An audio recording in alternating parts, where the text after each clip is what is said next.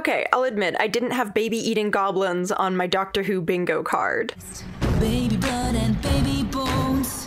Baby butter for the baby scone. The song is pretty catchy though. Hello, Internet. I'm Ren, and today I want to talk about The Church on Ruby Road, the fourth and final Doctor Who special leading into Ncuti Gatwa's series, which broadcasts in May of this year. The episode is a fun and silly mashup of Gremlins and The Labyrinth, complete with baby stealing goblins, a couple musical numbers, and a series of accidents caused by the mischievous little guys. So let's get into it. This video will contain spoilers for The Church on Ruby Road and minor spoilers for a significant arc during Jodie Whittaker's run on the show. The episode starts with a woman leaving a baby at the church on Ruby Road on Christmas Eve and disappearing into the night, while the doctor gives us a brief voiceover.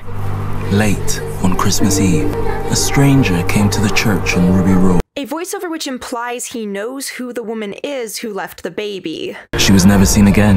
No one ever knew her name.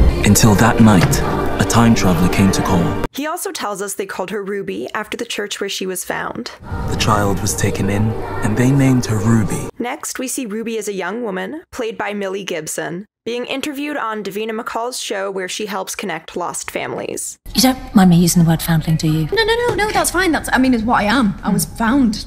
I was foundled. This is actually a real show that she actually does host in the UK. The Goblins engineer a small accident on set. Later, Ruby is performing at a Christmas gig of some kind at a club when the Goblins unplug her keyboard. We watch the Doctor do a little dance as Ruby watches him, and I love it. He looks so happy and free in this moment. He stops another small accident from happening, and they have kind of an odd interaction. Can I ask, does that happen to you a lot? All the time, but I, I'm, I'm just clumsy. No, no, you're not. It's worse than that. Like, oh no, you're worse than clumsy. Okay, bye, Merry Christmas. Merry Christmas. On her way home, the gremlins, I mean goblins, try to drop a giant snowman on Ruby. It ends up falling on the doctor instead as he rushes to save a woman with a baby stroller. But he's fine. A pram? At midnight. Really? If a bit judgmental. It's my shopping. It's Christmas Eve, and Ruby comes home with some shopping. Her quirky neighbors are arguing about the blue box parked in the street. The goblins continue causing minor mayhem in Ruby's life. She gets home to her loving mom, Carla, who reveals they're taking in a foster baby for a few days.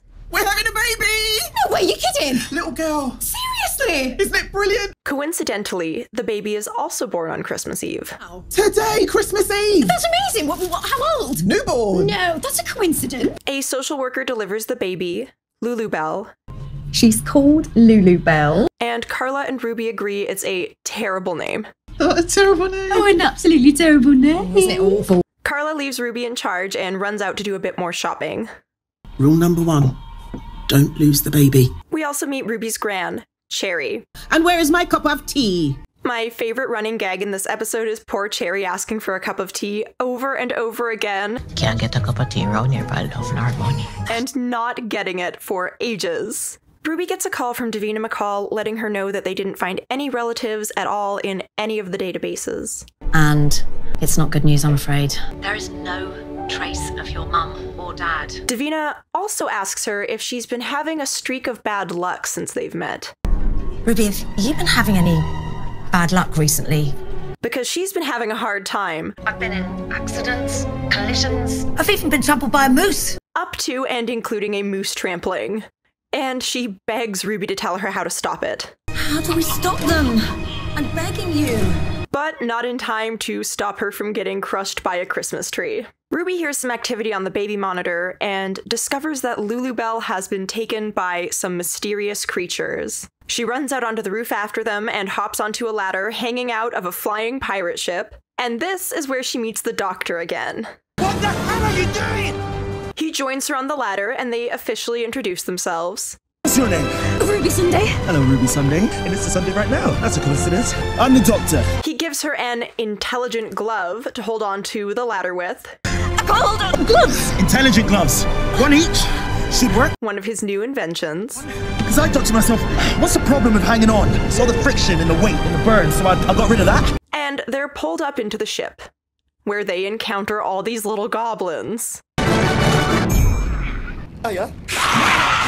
Ruby tells the doctor it's her birthday. It's my birthday. It's Lulu Bell's birthday. And it's your birthday on the same day? Another coincidence. He praises Lulu Bell's name, because of course he does, Such a brilliant name. I wish I was called Lulubelle. and explains about the coincidences It's just a coincidence. Learn the language. Coincidence is what makes the baby tasty. and why the goblins have targeted Ruby and Lulu Bell, That's how these goblins work. Chance and coincidence and luck. That's how I spotted you. and that they're time raiders.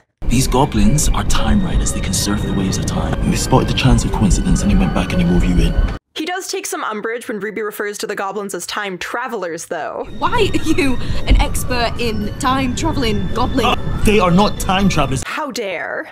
Time travelers are great. Like the best. Like wow. They escape their restraints Wait, how did you do that? I spent a long, hot summer with Harry Houdini. and sneak into the ship's equivalent of vents after the doctor figures out the vocabulary of the rope. Give me a hand. am learning the vocabulary of rope. Ruby is adorably impressed. Well, you can speak rope. As they're crawling around in the vents, we get the goblin song. No baby song says she's a treat. Okay, it's a bit more of a pop song when I expected a shanty, but it is quite catchy.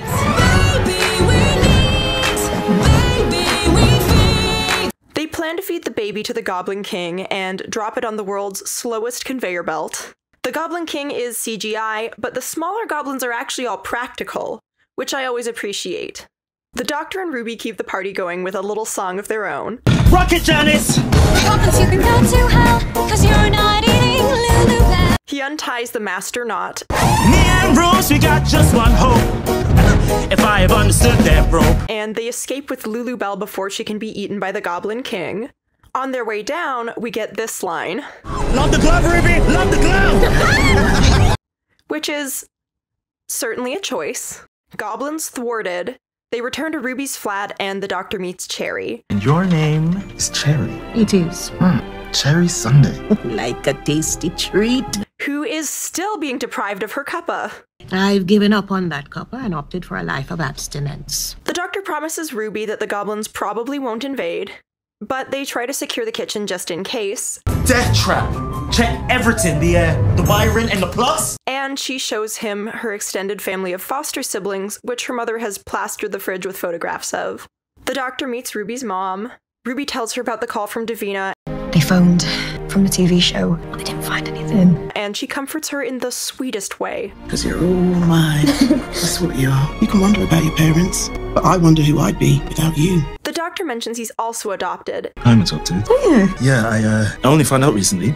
As we discovered in the Timeless Child arc during 13's run. And it's another big coincidence. That's a coincidence. The coincidences continue to pile up Oh, you're a foundling just like Ruby.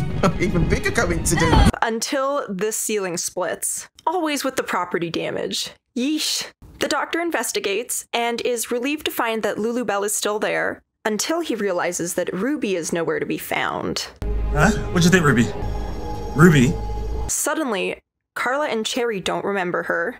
Who's Ruby? I told you this is Lulu. She's a right old pain on Christmas Eve. Do you remember Ruby? What you talking about? and all of the pictures have vanished from the refrigerator. I do think it's weird that Carla basically gets a totally different personality without Ruby, Just put my name on the list when I need a bit of money. 800 quid per child. Don't say that. but when the doctor presses her, they both end up crying. Why would I want a daughter when I'm happy as I am? Then why are you crying?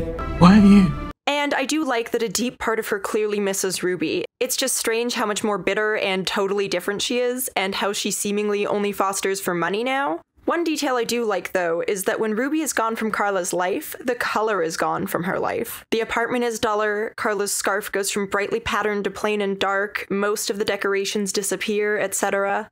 The doctor realizes that the goblins have gone back and taken baby Ruby from the church, so he resolves to go back and set things right. The doctor arrives to see the woman walking away and baby Ruby being snatched by a goblin from in front of the church. He springs into action, grabs the ladder, and uses the intelligent gloves to pull the ship back down. The Goblin King gets impaled on the church spire, and the ship vanishes. Baby Ruby falls back to Earth and lands safely in the doctor's arms, and he leaves her in front of the church. Someone, a priest maybe, gets the baby, and the doctor watches the woman walk away. She is quite a slow walker, though, with how little progress she made in the time it took the doctor to save the baby. But he doesn't stop her and gets back into the TARDIS instead, reappearing in present day London. The apartment is colorful again, and Ruby is back. And I guess we don't get to know whatever the doctor must have figured out about who left her at the church. The doctor also quickly pops back to save Davina McCall from the Christmas tree. Cherry finally gets her tea, Hallelujah, praise the Lord. I thought this day would never come. And Ruby works out that the doctor is a time traveler. He said he went back. What did he mean he went? When was Houdini? Houdini was like 19, 1920s? She runs downstairs and asks Mrs. Flood if she's seen the doctor. She points behind her and gives Ruby an approving nod and tells her good luck. Ruby goes inside the TARDIS and marvels at it. Who are you? I'm the doctor. And then they disappear along with the TARDIS as they go off on their new adventures. And Mrs. Flood gives us this line Never seen a TARDIS before. letting us know there's more to her than it seems. And now we'll all be obsessively speculating about who she is until at least May. Not to mention the person who left Ruby at the church. How are we supposed to wait half a year to find out? With Mrs. Flood, I don't really have a concrete theory, but I don't think she specifically knows the doctor, while she may know what Time Lords are. Because when she saw the police box parked in the street, she didn't immediately recognize it. How am I supposed to get round that great big thing? Or at least she didn't seem to, blaming her neighbor Abdul and saying that he put it there. But then after it vanishes and reappears, she clearly knows that it's a TARDIS. So she must know something about Time Lords even if she isn't familiar with this specific TARDIS. But that's just my best guess. One little thing I also noticed is that the doors to Ruby and her neighbor's flats are all TARDIS blue, which is a really cute detail that feels almost like an invitation to the doctor to come visit. Overall, I liked this episode a lot, although parts of the story were a bit on the weaker side or felt a smidge rushed, such as the conclusion. For example, it just felt a little bit too easy how quickly he saved baby Ruby. But the baby eating goblins that thrive on coincidence are fun villains with a classically Doctor Who explanation for what they do. And it was kind of funny that they were messing with Davina McCall just for fun. Why did they pick on Davina McCall? Oh, that was just fun. The Goblin King was pretty bland in terms of basically just being a giant CGI mouth. It was also strange that the Doctor knew the singing goblin by name. Rocket Janice! That said, Ncuti Gatwa was born to play the Doctor. Oh, it's like a tapestry. It's gorgeous. He's funny and bubbly and effervescent and captures the character beautifully in his first solo debut. Oh, it's a brand new science for me, and I love it. The language of luck. Millie Gibson is also a delight as Ruby. They have great chemistry together, and I'm so excited for their adventures. I also love Ruby's family, and I hope we get to see a lot more of them, and maybe meet some of her many foster siblings as well. One thing the episode certainly did was set up a few fascinating mysteries. Who's Mrs. Flood? Who are Ruby's biological parents? Why didn't she even get distant relatives in any DNA database? It's enough to make the fandom absolutely feral with curiosity. I assume the explanation will be that Ruby is from another world or something, rather than the mundane answer that somehow not a single extended relative has used a DNA test kit. I also really enjoyed the elements the episode borrowed from Gremlins, a classic Christmas movie with little guys wreaking havoc and causing accidents, and Labyrinth, another baby stealing musical goblin spectacle which starred David Bowie. The result is a goofy, silly holiday adventure and a delightful primer to a hopefully wonderful new series of Doctor Who to come. But that's just my opinion. What did you think of The Church on Ruby Road? Any theories about Mrs. Flood? How about Ruby's parentage? Let me know in the comments down below. Like, share, and subscribe for more videos. See you next time. Wiedersehen.